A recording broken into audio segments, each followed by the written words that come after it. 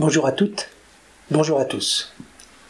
Le nom d'Edmond Becquerel est souvent mentionné dans les traités de photographie du XIXe siècle, et Edmond Becquerel compte parmi les fondateurs de la Société française de photographie en 1854. Son cours de physique appliquée au Conservatoire des arts et métiers, qui couvre les techniques photographiques, attire plusieurs centaines d'étudiants, dont bon nombre de photographes.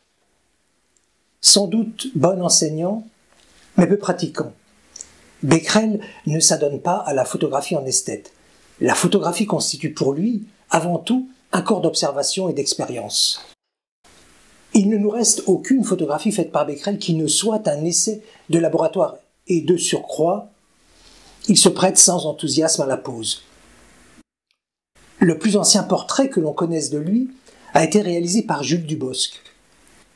Dubosc est un photographe et un ingénieur opticien réputé installé rue de l'Odéon à Paris. L'habilité Dubosc pour la construction d'appareillages optiques et mécaniques l'amène à concevoir des instruments scientifiques, des microscopes, des spectroscopes, des héliostats, des projecteurs, etc., afin de satisfaire aux besoins des savants de l'époque. Il réalise un héliostat pour Léon Foucault ainsi que le fameux phosphoroscope d'Edmond Becquerel. Il conçoit également un appareil stéroscopique pour David Brewster en 1850. Et c'est avec un tel appareil photographique qu'il va portraiturer plusieurs de ses clients, une heureuse circonstance qui nous laisse aujourd'hui sans doute le premier portrait au daguerréotype d'Edmond Becquerel, mais aussi celui de Léon Foucault, ainsi que d'autres images sans doute plus commerciales. Quelques années plus tard, vers la fin des années 1850, Becquerel pose dans l'atelier photographique de Félix Nadar, rue Saint-Lazare son vieux camarade de classe du lycée Condorcet à Paris. Nadar va devenir le photographe attitré de la famille. La force de ses portraits réside dans ce génie à traduire à travers les poses la psychologie de ses sujets. De ces portraits d'Edmond émane une certaine douceur, beaucoup de réserve, voire de distance. Il n'a pas le tempérament d'un Delacroix. Il ne cherche pas à séduire, comme une Sarah Bernard ni à vous scruter comme un Édouard Manet. Aucun photographe, que ce soit Pierre Petit pour sa Galerie des Hommes du Jour ou Liébert, ne parviendra à le rendre plus expressif. Dans ses derniers portraits par les ateliers Nadar à la fin des années 1880, son regard se perd dans la périphérie de l'image et suggère une grande lassitude. Sa santé déclinait alors. Becquerel n'était pas un homme de scène, mais il était avant tout un homme de science, plus stimulé par la confrontation à l'expérience qu'à celle de l'œil du photographe. Il s'éteint en 1891 et Félix Nadar lui rend un hommage fraternel dans sa revue populaire Paris Photographe. Puis Nadar l'inscrira parmi les primitifs de la photographie dans son livre Quand j'étais photographe, l'associant à tout jamais à l'histoire de la photographie. Alors comment et pourquoi Becquerel a-t-il marqué l'histoire de la photographie? Eh bien, Edmond Becquerel débute sa carrière de scientifique en 1838. Il n'a que 18 ans, mais la décision est prise. Plutôt que d'intégrer la prestigieuse école normale ou l'école polytechnique auquel il est admis, il va assister son père, Antoine César, à la toute nouvelle chaire de sciences physiques appliquées aux sciences naturelles créée au Jardin des Plantes à Paris. Ce père, Antoine César, est membre de l'Académie des sciences et c'est, semble-t-il, un caractère bien trempé un hyperactif. On écrit de lui qu'il va toujours dansant, sautillant, sautelant, sautillotant, titubant, frétillant, frétillonnant, frétillotillant, trottinant, tortillant, tortillonnant, gambillant, heurtant, cognant, butant, culbutant, enfin dans un état d'agitation fébrile qui ne peut être que le résultat de ses études électriques. Et oui, Antoine César Becquerel s'intéresse à l'électricité et à la production d'électricité par la pression, par la chaleur. Et la mission d'Edmond sera, s'il le veut bien, mais il n'a sans doute guère le choix, elle sera d'explorer la production d'électricité par la lumière. Travailler sur la lumière à cette époque n'est pas fortuit. L'Académie des sciences, sous la houlette de son célèbre secrétaire François Arago, est toujours agitée par les débats autour de la nature de la lumière, et en cette fin d'année 1838, Arago est informé de l'invention du daguerréotype, un procédé photographique révolutionnaire qui va attirer l'attention et l'intérêt de la communauté artistique et scientifique internationale. La qualité et la précision indubitable des images fournies par ce nouveau procédé photographique vont enthousiasmer Arago et le conduire à promouvoir cette invention au point de convaincre l'État d'en faire l'acquisition. Chacun pourra ainsi l'utiliser librement. Parce qu'avec le daguerréotype, Arago a l'intuition d'un outil qui servira non seulement à documenter le monde, cartographier les planètes à l'aide d'images précises, mais sera un moyen d'investigation scientifique pour des travaux plus fondamentaux sur la lumière. Cet œil artificiel, sensible même dans les rayons obscurs, va compléter la vision humaine et permettre d'enregistrer les spectres des astres et mesurer l'intensité lumineuse des planètes. Bien sûr, les savants de l'Académie des sciences, dont Antoine César Becquerel, sont aux premières loges pour découvrir cette invention et son potentiel. Et tout naturellement, l'information passera de Becquerel père à Becquerel fils, Edmond, qui l'exploitera dans le cadre de sa thèse sur les effets chimiques et électriques produits sous l'influence de la lumière solaire. En août 1840, il présente un manuscrit de thèse assez concis qui s'articule autour de deux thèmes. Le premier est consacré aux effets chimiques de la lumière.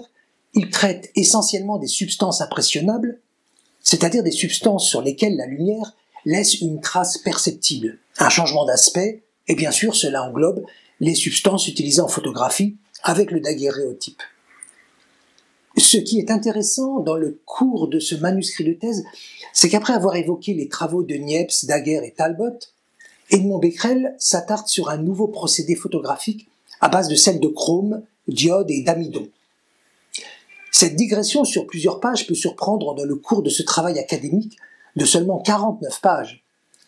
Il présente ainsi une nouvelle technique photographique qu'il a mise au point et qui ne connut jamais d'application. C'est ce que l'on appellerait aujourd'hui une technique de photocopie. Pour comprendre l'importance qu'il y trouve, il convient de préciser qu'en 1840, lorsqu'on utilisait un procédé de photographie sur papier comme celui de Fox Talbot, on obtenait généralement une image inversée. En effet, la lumière noircissant la feuille, les traits qui étaient sur le document original en noir sur fond blanc devenaient blancs sur fond noir dans la copie photographique, ce qu'on appelle un négatif. Ce négatif était alors considéré comme un handicap par les pionniers de la photographie, et l'on saisit mieux l'enthousiasme d'Edmond pour son procédé qui reproduit, comme il l'écrit, les ombres par les ombres et les clairs par les clairs, et de surcroît qui est peu dispendieux, pour reprendre ces termes. Cette profusion de détails l'écarte un peu des objectifs de sa thèse. Elle lui permet néanmoins de s'inscrire dans la lignée des pionniers de la photographie comme Talbot, Niepce et Daguerre. La deuxième partie de la thèse s'attache à la mesure des effets électriques de la lumière solaire. Les composés photosensibles qu'il a retenus pour réaliser ces expériences sont le bromure, le chlorure et l'iodure d'argent. Il va mesurer l'électricité produite par ces composés lorsqu'ils sont exposés à la lumière solaire filtrée par divers écrans colorés. Si les rayons jaunes et rouges ne produisent pas de courant, le bleu, le violet, l'indigo et au-delà génère une intensité qui va en s'accroissant. Cela corrobore et quantifie les observations des premiers photographes. En effet, l'opticien Lerbourg avait noté que trois des couleurs les plus brillantes de la palette, le jaune de chrome, le vert véronèse, le vermillon, n'ont pas d'action sur la plaque sensible et qu'elles se traduisent en noir sur le daguerreotype, alors que les objets bleu clair ou blanc s'y enregistrent nettement et de façon équivalente. D'ailleurs, les laboratoires des photographes à l'époque sont éclairés avec des lumières rouges, tandis que les fenêtres et verrières des studios de prise de vue sont équipés de vitrages bleus. Edmond Becquerel conclut sa thèse en avançant une idée qui détaillera par la suite. Les rayons chimiques, ultraviolets, sont de même nature que les rayons lumineux. Ainsi, Edmond Becquerel n'a que 20 ans et il a déjà à son actif des contributions pertinentes sur les interactions lumière-matière. Cette précocité peut surprendre aujourd'hui, mais elle n'avait rien d'exceptionnel à l'époque quand on sait que lors de la campagne d'Égypte, Bonaparte était accompagné de plus de 150 savants dont la moyenne d'âge était inférieure à 30 ans. D'ailleurs, dans l'entourage d'Arago travaillent deux autres brillants scientifiques, Hippolyte Fizeau et Léon Foucault, qui marqueront leur époque. À l'annonce de la découverte du daguerreotype, comme Becquerel, Fizeau et Foucault n'ont que 19 ans. ils vont adopter l'invention du daguerreotype, y apporter des perfectionnements majeurs et l'appliquer à la recherche. Léon Foucault enregistrera des spectres de la lumière solaire, il introduit la microphotographie et réalise avec Alfred Donné des vues daguerriennes au microscope destinées à la documentation médicale. Après sa thèse, Edmond Becquerel poursuit ses expériences. Il constate un phénomène curieux. Alors qu'il avait démontré dans sa thèse que la lumière rouge n'avait aucune action sur l'iodure d'argent, car il n'y avait aucune production d'électricité, il remarque que s'il expose préalablement ce composé à la lumière bleue, il y a ensuite l'apparition d'un courant lorsqu'on l'expose à la lumière rouge. Il y a donc maintenant une action chimique inattendue sous l'action de rayonnement qui initialement n'en produisait pas. Il va appeler les rayons bleu-violet des rayons excitateurs et les rayons rouges des rayons continuateurs. Ce phénomène, qui sera dénommé effet Becquerel, va trouver une application éphémère en photographie. En effet, à l'époque, pour développer les plaques, pour faire apparaître l'image, il fallait les soumettre à des vapeurs de mercure, produits déjà reconnus comme très dangereux. Plutôt que d'utiliser du mercure, on pourrait exposer la plaque à des rayonnements rouges. En effet, lors de la prise de vue, lorsque le photographe expose sa plaque dans l'appareil, les rayons UV ou bleus vont induire la formation de nanoparticules d'argent sur la couche d'iodure d'argent. Elles sont imperceptibles à l'œil. C'est ce que l'on appelle l'image latente. En revanche, les zones de la plaque ainsi exposées lors de la prise de vue sont maintenant devenues sensibles à des rayonnements rouges.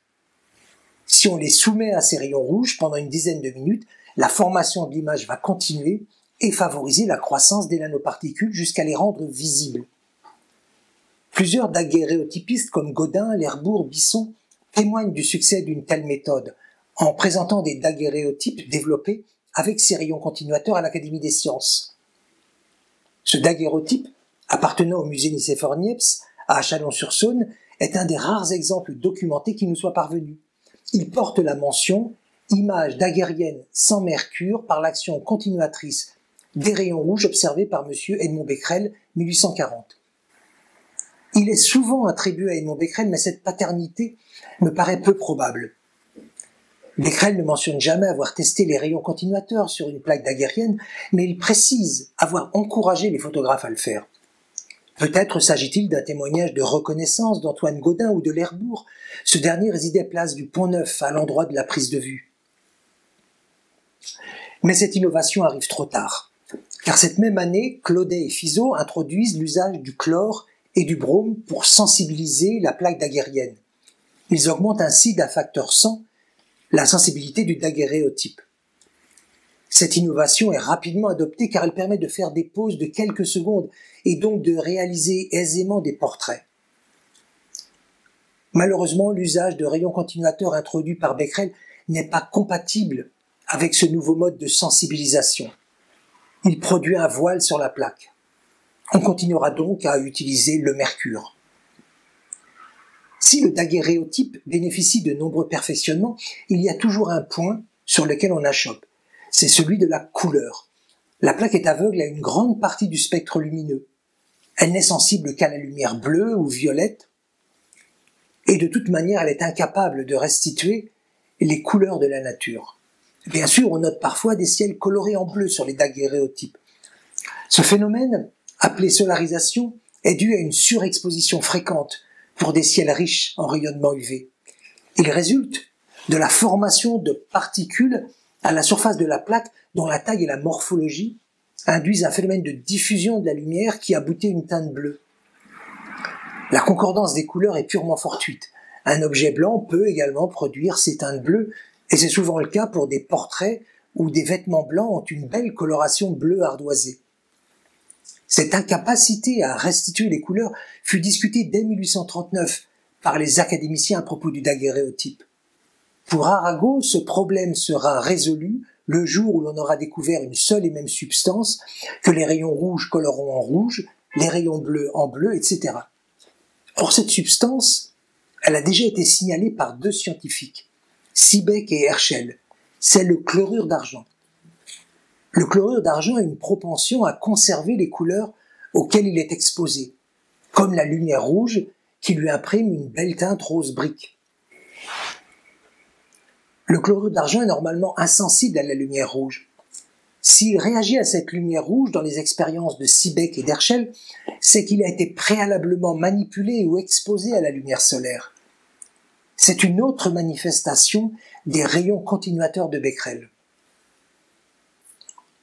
Becquerel va tenter d'enregistrer les couleurs du spectre solaire dispersées par un prisme, d'abord sur une feuille imprégnée de chlorure d'argent, sans grand succès. Il renouvelle l'expérience sur une plaque d'argent couverte de chlorure d'argent. Et là, il nous relate ses observations. Il écrit J'ai aperçu comme un souvenir du spectre fixé sur la lame et dont les nuances correspondaient exactement aux parties lumineuses de même couleur du spectre solaire. La place où le rouge avait frappé était rouge pâle, le jaune était jaune, le bleu bleu, etc. En janvier 1848, il transmet la description de ses expériences à Arago, et le texte définitif sera publié la même année dans les annales de chimie et de physique. il dénomme ces photographies couleurs des images photochromatiques. Elles sont obtenues directement dans l'appareil photographique sans autre traitement que celui de préparer une couche de chlorure d'argent sur une plaque argentée semblable à celle du daguerréotype. Becquerel reproduit ainsi des gravures et des planches colorées après des expositions de plusieurs heures au soleil. Celles-ci se conservent indéfiniment dans l'obscurité, mais s'estompent à la lumière. Becquerel laissera le soin à d'autres photographes et scientifiques de chercher une solution pour fixer ces images. Le plus actif d'entre eux sera Abeniev de Saint-Victor. Becquerel va l'accueillir en voisin au laboratoire de Jardin des Plantes pour lui montrer la préparation des plaques.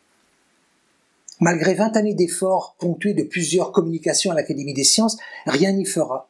Les couleurs disparaissent et l'image exposée à une lumière diffuse s'efface lentement. Les tentatives de Nièvre de Saint-Victor sont des échecs. Bien d'autres comme Alphonse Poitvin, Edmond Saint-Florent, René Colson s'y attelèrent sans plus de succès. Jusqu'à la fin du XIXe siècle, des articles émailleront les journaux scientifiques et photographiques, illustrant les modestes avancées d'un procédé sans avenir photographique. Edmond Becquerel admettra plus tard que les reproductions des images du spectre et celles de la chambre noire, avec leur couleur naturelle, n'ont encore qu'un intérêt purement scientifique et l'on ne peut songer à leur application. Par chance, plusieurs images photochromatiques par Becquerel nous sont parvenues et sont conservées dans les collections du Conservatoire national des arts et métiers, du musée Nicéphore Niepce et du Muséum national d'histoire naturelle, heureusement préservées de la lumière. La nature des couleurs et leur formation sont restées un mystère jusqu'à nos jours. Deux hypothèses se sont opposées, celle d'une origine pigmentaire contre celle d'une origine interférentielle des couleurs. Les travaux de thèse soutenus par Victor de Sauve en 2018 ont permis de caractériser la couche image et de réfuter l'origine interférentielle des couleurs en montrant que les distributions de taille ou de localisation de nanoparticules d'argent varient selon la couleur et sont responsables de l'absorption dans le visible par résonance de placement de surface localisée. Cette découverte de l'image photochromatique apportera la notoriété à Edmond Becquerel auprès des photographes et du grand public. Après 1850, il restera proche du milieu de la photographie, mais ses recherches s'en éloignent. Il occupe la maison mise à la disposition de la famille depuis 1848 dans l'enceinte du Jardin des Plantes au 57 rue Cuvier. Celle-ci sera détruite en 1896. Le bâtiment qui abritait le laboratoire existe encore. En 1938, à l'occasion du centenaire de la création de ce laboratoire, le journal L'Illustration consacre un article à la dynastie des Becquerel. Une photographie de l'ancien laboratoire de Cuvier, dans lequel les quatre Becquerel ont poursuivi leurs travaux depuis 1848, est présentée. Il est difficile de croire, vu l'état de négligence et de poussière qui y règne, que ce soit réellement le laboratoire occupé à l'époque par Jean Becquerel, le quatrième scientifique de la dynastie et que la diffusion d'une telle vétusté ait été approuvée au plus haut niveau du muséum. Ou alors faudrait-il y voir un moyen de sensibiliser l'opinion publique sur le manque de moyens alloués à la vénérable institution? Au demeurant, en 1939, Lors de la cérémonie officielle du centenaire de la création de la chaire de physique, en présence du président de la République, de ministres et d'académiciens, le directeur du muséum, M. Germain, ne rate pas l'occasion en proclamant Toutes les recherches des Becquerel ont été réalisées dans cette célèbre maison. Comme nous serions heureux de lui restituer son éclat d'antan, d'en faire le musée de nos souvenirs, hélas, le temps l'a meurtri, l'a meurtri cruellement, et le laboratoire qu'elle abrite inspire grande pitié. Preuve évidente, il est vrai que les plus belles réalisations peuvent être faites avec de faibles moyens. Mais la science moderne a d'autres exigences et s'accommode mal d'installations aussi précaires. Ces demandes resteront vaines. Les événements qui allaient enflammer l'Europe cette même année contribueront à effacer peu à peu le souvenir d'Edmond Becquerel et de ses contributions scientifiques. De toutes ces découvertes, aucune n'aura un impact décisif sur la pratique de la photographie. L'effet Becquerel nourrira la réflexion sur la théorie de l'image latente en photographie au XXe siècle, mais il n'y aura que peu d'applications photographiques au XIXe. Quant à l'image photochromatique, même en résolvant la question de sa fixation, de sa stabilité, elle n'aurait pu satisfaire un public avide de photographies instantanées. La rapidité lors de la prise de vue et la possibilité de produire de multiples exemplaires l'emportent sur le fait d'obtenir laborieusement une image couleur. Même le procédé spectaculaire de photographie couleur interférentielle, introduit en 1891 par Gabriel Lippmann, en fera les frais. Voilà le paradoxe. Edmond Becquerel est resté dans les mémoires pour ses apports à la photographie, alors qu'il n'eurent que peu d'incidence à l'époque. En revanche, il est resté largement ignoré pour des contributions essentielles de nos jours, comme la production d'électricité grâce à la lumière solaire. Certains avanceront que cette découverte faite à 19 ans est le fruit des travaux de son père. Mais peut-on distinguer aisément aujourd'hui le rôle de chacun? Il y eut dans ce laboratoire de physique du Jardin des Plantes, lieu de savoir et de savoir-faire, un continuum de l'expérience porté par une lignée. Deux, voire trois générations de Becquerel s'y sont côtoyées. Cela a pu prêter à certaines objections, mais on ne peut nier le rôle essentiel joué par cette proximité dans la transmission des savoirs tacites et dans l'enchaînement des apports de connaissances nouvelles. Les découvertes des uns ne sont que l'aboutissement d'un transfert rapide et direct de ces savoirs et des objets d'expérience des autres. Ainsi, pendant près d'un siècle, la dynastie des Becquerel a généré, grâce à un travail d'expérimentation remarquable, des connaissances nouvelles dont on ne mesurera l'importance que bien plus tard. Que ce soit la production d'électricité par la lumière solaire ou voire même l'étude de la température de l'air près ou loin des bois, réalisée par Edmond et son père, ces contributions apportent aujourd'hui des alternatives efficaces afin de lutter contre le réchauffement climatique et d'œuvrer pour le développement durable. Elles trouvent ainsi toute leur légitimité au Muséum national d'histoire naturelle. Merci de votre attention.